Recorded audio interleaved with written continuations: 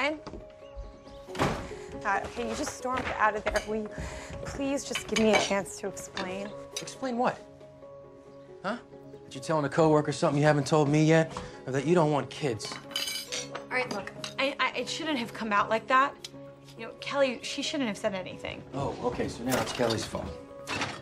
Do you want to take any responsibility for anything like these papers? Fern was dropping them off when I pulled up. Apparently, Tasha got kicked out of her foster home this morning. You agreed to take her in? Without asking me. No.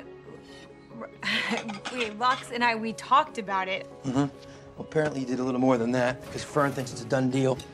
Right, I had had an entire bottle of champagne. I wasn't thinking clearly. Well, so now it's the champagne's fault?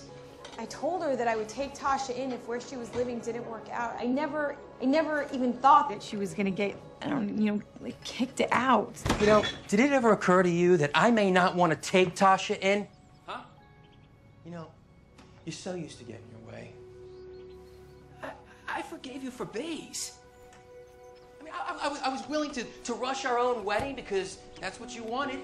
I mean, hell, I, I even looked the other way when Baze tried to bum rush our vows. But we are married now, Cate. You can't just make these life altering decisions and then go discuss them with someone else before telling me. I mean, you ever think that the next kid that comes in this house, I might want to be mine? I want kids, Cate.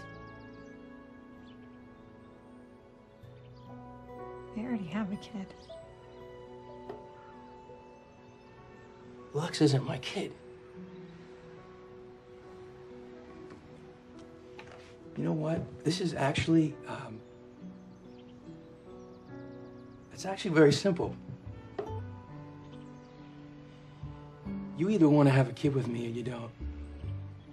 And if you don't, then I, I, I don't know why we got married in the first place.